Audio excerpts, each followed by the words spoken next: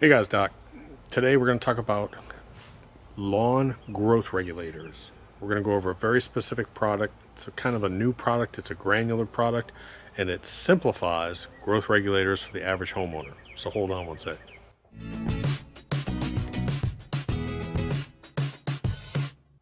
Hey guys, so I've been talking about this for a couple weeks and I see some questions pop up and I'm going to answer some of the common questions. Before you before I go forward, there's going to be a link in the description that's going to take you to a page on our website that's devoted to this and it's going to have instructions on there. Uh, it's going to have a link to the product, so make sure click subscribe and then you can go to that link and, and find out more information. But I'm going to cover some specific information that you need to understand before you actually start using this product. Rule number one um, you do not use a growth regulator until you're happy with your lawn. So, if you've done a scalp, uh, you wait until that scalp grows back up and you're happy with it, then you hit it with a growth regulator. If you have had lawn damage, you wait till that grows up and repairs, then you hit it with growth regulator. Because basically, what's going to happen, and I'll show you here in a minute, growth regulator it sort of blocks a hormone in the grass that controls vertical growth. Um, so it's going to be slow to grow. It's going to be slow to repair. So you want to make sure that your lawn is just right. So what we did back here, I'm be fighting bugs. What we did back here is we did a summer scalp. We took it way down and we've let it come back up. We've been cutting it every 48 hours at half an inch. And I'm pretty happy with it. There's still a couple areas over here, but they're going to take forever. So I'm like, I got to stop cutting this grass. So I applied it today. Rule number two, you apply growth regulator during the growing season. So for Bermuda grass, that's going to be basically all season long. After the spring, once your grass is established and you're happy with it, then you can start applying it and apply it all the way through. And you stop your applications 60 days before the cold weather hits because your Bermuda is going to slow down anyways, so you don't want to interfere with the winterization process of the Bermuda. So you shut it off about 60 days before your cold weather comes in. On, I've been working with Anderson's on sort of a cheat sheet, and if you order through the link below, it's going to come with a cheat sheet card that we've developed for you guys that makes it a little bit easier, and it talks about application rates. So if you have, there's a difference between um, hybrid Bermuda or improved Bermuda. So if you have a seed like a Tifway or a Blackjack or a Yukon, or if you have a quality, high quality seed that replicates a hybrid sod, then you would put it out at about two pounds per thousand square feet. If you have sod lawn, so if you moved, bought your house and had sod, two pounds per thousand. If you have common Bermuda grass, you're going to probably go about double that rate. They say five per thousand square feet. I think you can get by. We tested across the street and I think you can get by with about three to four pounds per thousand square feet. and then there's also fescue on there. There's fescue and cool season numbers on there as well too. Now I did, figured out a way to make it a little bit easier for you guys too, because not everybody has a scale at the house. So what I did is I did a conversion um, to figure out how many pounds you need to put out. One gallon of this, so I'll put a link to a gallon, cheap gallon jug. You can go to Walmart for three bucks and buy a gallon jug. You should always have something. Find one gallon jug. That is six pounds, four ounces. So let's just say it's about six pounds. So if you need to put out 12 pounds of this and you can't figure out how much of the bag, you can just go in and get two gallons. That'll be 12 pounds. Three gallons will be 18 pounds. You got it?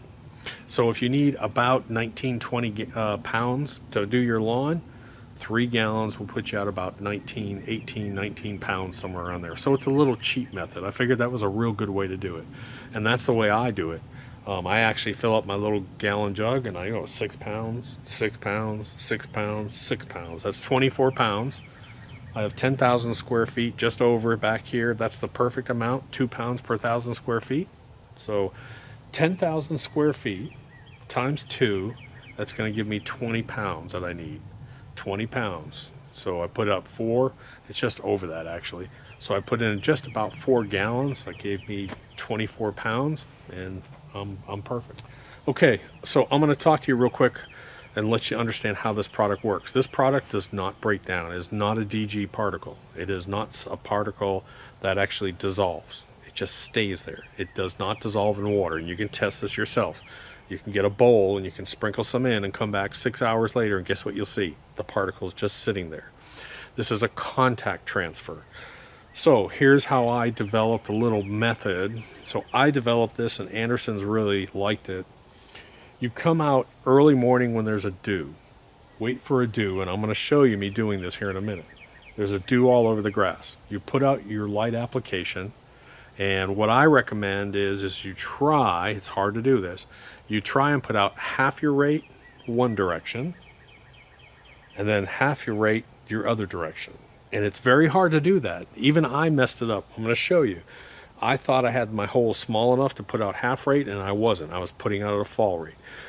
These particles look like sugar almost. They're very, very small. So you have to have your spreader opening at barely an eighth of an inch if you're going to do that half rate application most of the time. So you're going to have to play with it. But that's the important part about weighing it. You'll understand how much you're putting out. But when you put it out on the dew, it sort of sticks to the blades. And what you get is you get a foliar transfer, which is a good way for this product to transfer into the, into the, into the plant. But a real effective way that this product actually transfers into the uh, plant, there's research on this by the way, is the base of the plant. So when this, when this product contacts the base of the plant, you get a real good transfer to the actual plant. When it, we don't water it in, you do not water this in. Um, the root transfer is very ineffective. Only about 5% of the product will actually transfer in via the roots. You get over 50% transfer at the base, and I think it's like a 40 to 50% foliar or something like that. So, and they did a bunch of the testing on this study that I was reading, uh, where they actually took it and uh, they treated it, washed it off, measured the content of it. It's pretty cool. As the dew dries, um, it'll actually drop down to the base of the plant. So you want to make sure you want to cut your grass before you do this because you don't want to come out here and cut afterwards because you'll move the product. Now with a reel mower, that's not a big deal.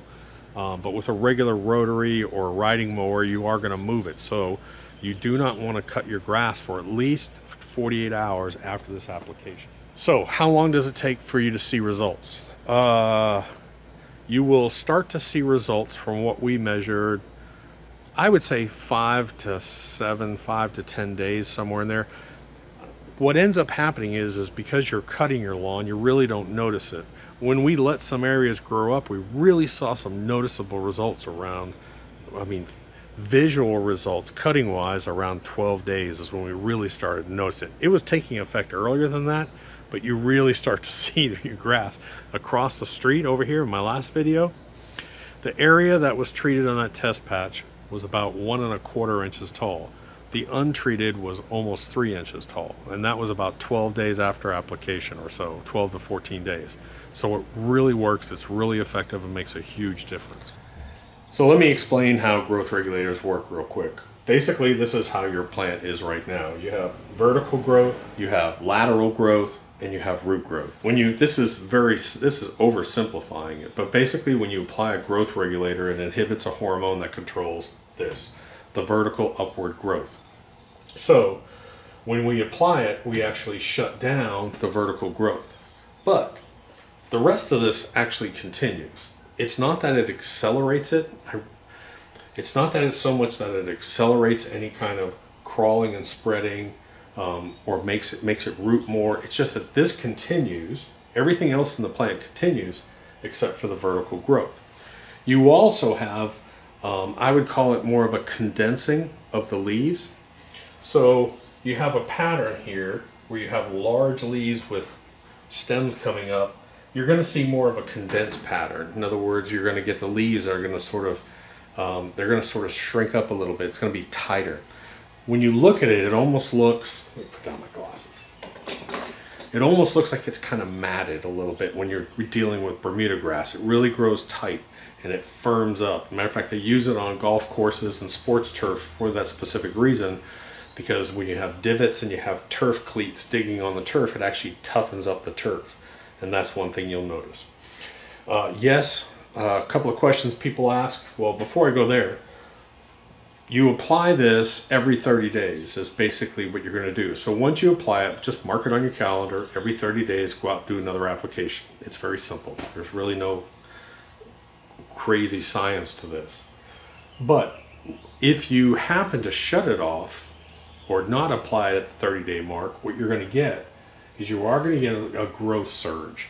So you're going to get this this plant is sitting there and it has all this energy, carbohydrates, has all this energy reserved up. When the, those hormones start to produce again, you're going to get a growth surge, and so your grass is going to grow really fast. So just be aware of that. So you want to keep this up every 30 days. You want to put down your application. Um, again, it's here. You take it off. It's going to go into a growth surge, and then it's going to come back down, back to normal. Again, approximately 60 days before the cold weather moves in, you probably should shut this off and let the grass just do its natural thing to get ready for winter. The blades or the, the, the way that the grass will look. So if this is how your grass normally looks, what you're actually going to see is you're going to see something like this. You're actually going to see it's going to be smaller and it's going to be tighter. So you're actually going to have a tighter looking grass.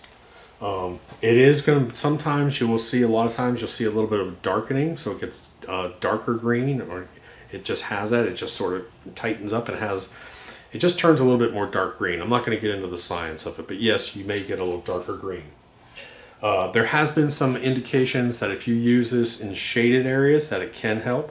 In other words, the energy is not being put into the upward growth, but it's actually spreading it, it's actually continuing both this lateral and root growth. So it can help in shaded areas. I'm back there testing it. I don't know that it'll do a tremendous amount, but I'll let you know my results. So yes, it can help with some shaded areas, but again, you can't replace sunshine with Bermuda. Bermuda has to have sunlight, but it can help a little bit. Morning. You tell it's early. it's like uh, 6.30 in the morning. But let me tell you what I'm doing real quick. I'm not to drag this out. I want to put out a light coat of growth regulator right now uh, because the lawn is completely soaked and there's a nice dew all over the top. This is the perfect time to put out the growth regulator. Reason being is it's going to, oh, there's a frog in the pool. That's what she's after. The reason being is um, it's going to attach itself to the grass and it'll have a foliar transfer before it works down to the base. Both are equally effective. So Here's the other reason why I like to do it this time. It's not just because of this application method, but also, see the marks? I can precisely put this out evenly, which is really cool. I can follow my tracks. Okay, so I've got these slots, very, very small. I mean, they're like tiny. And that's how I'm going to do my first application. Six pounds, 12 pounds.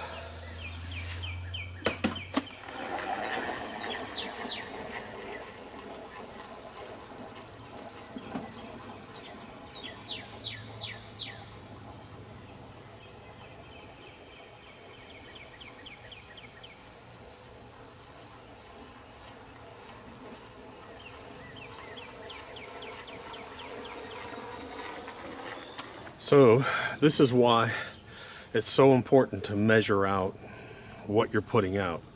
At that spreader setting, I thought I was going to be putting out half the rate. No, I was putting out the full rate. So I ended up having to go get the bag again, and I ended up putting four gallons, which is 24 pounds, back here, which actually is about perfect for this. So what I thought was going to be the light rate, and this is what I recommend, try and put it out at half rate. I mean, the hole is going to be tiny, tiny, eighth of an inch. I was over eighth of an inch. So go one eighth of an inch. But let me show you why I do this in the morning.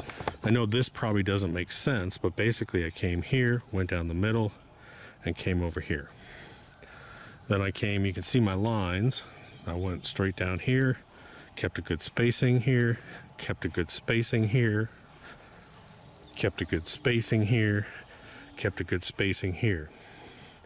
Came over here. Again, this may not make sense, but I basically came in, around, came in, turned, and did a little circle here. So I have a line here, then I have a line here. Yes, I let it get into my plants over here. Big deal.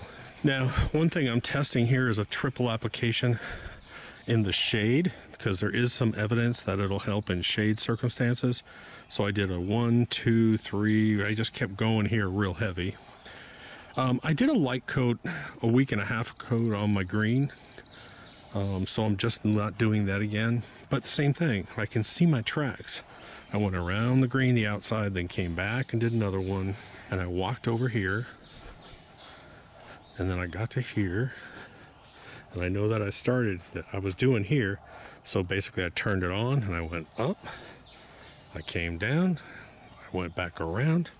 I came in here, hit this area, and came back up, hit that area, and then shut it off. So it's not just about having the stuff attach itself in a foliar manner to the grass, which is a good way to do it. Um, it's about the clarity of application. Did I treat this spot or not treat this spot? That's why I really like the dew application is great. So this is going to sit on the foliage for the next two or three hours. I shouldn't have any rain. And then if I do get some rain, it's going to sit in the thatch right on the base layer. Now the base of the plant is where the transfer of this is very effective. It's like a 50% transfer once it's at the base. Roots, no. This product does not dissolve. This stays in a solid form and transfers the chemical. That's important to understand. It is scorching hot out here. it still amazes me how Bermuda grass can take this heat. You know, 95 degrees scorching hot at a half an inch and just be beautiful. So one of the other added benefits of growth regulator is you do get some tolerance to drought and to some of this heat. And why is that? It's because a lot of the energy is not being used for vertical growth. So the energy that would normally have to be shut off and it sort of go a little bit dormant during these periods, it's not using that. It's just sort of sitting there with these stored up reserves. So uh, again, there have been studies that show it does improve resistance to um, a damage from drought conditions as well too. So all around, it's a good product to use. Again, if your lawn is healthy, put it on. Uh, feel free to use it. Just learn how to use it. There's link below, and that's about it. Talk to you later. Die.